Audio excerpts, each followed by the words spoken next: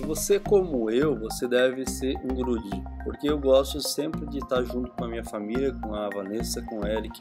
Tudo que eu posso, eu gosto de estar tudo junto.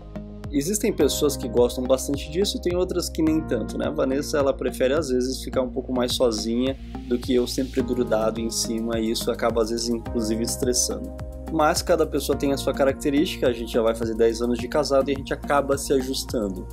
Mas eu gostaria de dar uma sugestão para você, papai, homem, educador, pai educador, do que você pode fazer também para ajudar sua esposa nessa outra dica que eu estou dando hoje. O que, que significa? Às vezes a gente tem um, dois, três filhos e a nossa esposa está em casa enquanto a gente está trabalhando.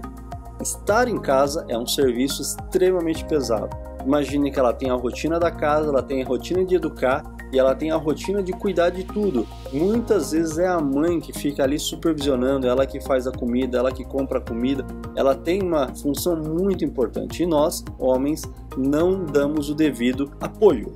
A gente não ajuda e é muito importante que a gente comece a ajudar. Eu li um livro que eu não lembro qual, né, mas eu li algo que ele falava o seguinte: tente de vez em quando deixar sua esposa livre então a minha sugestão e a minha dica hoje nesse vídeo é que você pegue uma vez por semana os seus filhos e vai dar uma volta. Você e seus filhos, deixa a esposa, às vezes um tempo tranquila, lendo, descansando, sem que a gente tenha toda aquela bagunça e as crianças em cima. Eu vejo aqui por casa o Eric ele sempre está em cima da Vanessa, a gente precisa dar às vezes esse descanso. O que, que eu recomendo? Acho que uma vez por semana, uma vez a cada 15 dias no máximo, ela precisa ter um tempo. Às vezes tomar um café com as amigas, dar uma volta com a mãe, com a irmã, eu não sei. É importante a gente ter esse tempo. Confesso para vocês que para mim é algo diferente, muito difícil, porque eu gosto sempre de estar tudo junto, mas eu percebo que é importante, a maioria das mulheres precisa desse tempo de descanso. Não que ela queira se livrar do marido ou dos filhos, mas ela precisa estar um pouco mais relaxada, menos estressada, menos corrida, menos com preocupação. Então tente colocar na agenda de vocês, no planejamento, no cronograma, um momento para a mãe ter o seu tempo livre. Às vezes meio período durante a semana, meio período durante o sábado, onde o pai sai com as crianças para dar uma volta, onde ele vai num parquinho, onde ele vai andar de bicicleta nada precisa investir dinheiro para fazer isso. Você pode sim fazer isso sem dinheiro e fazer com o que você tem, mas deixando a mãe ali um pouco mais descansada.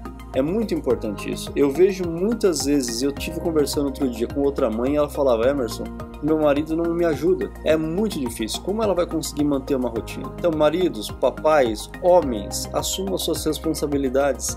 Deem um tempo às vezes para sua esposa e tomar um café com as amigas, dar uma volta, dar uma caminhada. É a minha sugestão e eu espero que você pense sobre esse assunto. Se você não viu a nossa primeira dica, eu estou deixando aqui a nossa primeira dica. Olhe ela com carinho e reflita como você pode ajudar. Se você não viu ainda ou você não é inscrito em nosso canal, eu vou deixar aqui desse lado um botão onde você pode clicar e se inscrever. É muito importante. Se inscreva no nosso canal, receba as atualizações, curta, compartilha com seus amigos, porque é isso que faz com que a educação domiciliar cresça e cresça de forma estruturada. Um abraço.